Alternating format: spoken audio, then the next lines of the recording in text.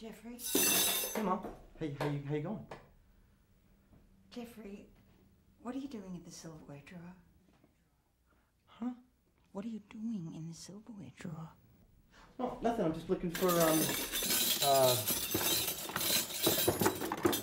uh, corkscrew. Here it is. I got it. Thanks. What do you need a corkscrew for? You don't drink.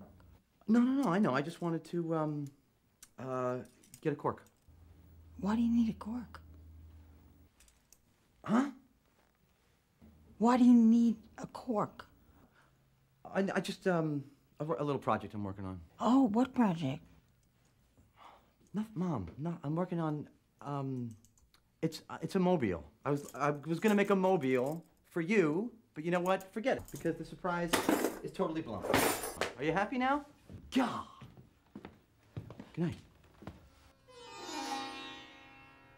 night.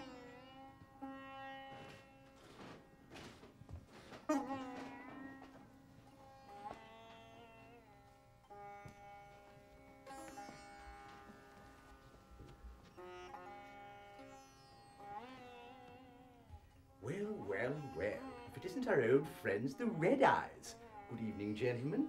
We weren't expecting to see you again, so spoon. red Eyes, Red Eyes, Red Eyes. What a treat. We weren't expecting to see you again, so spoon.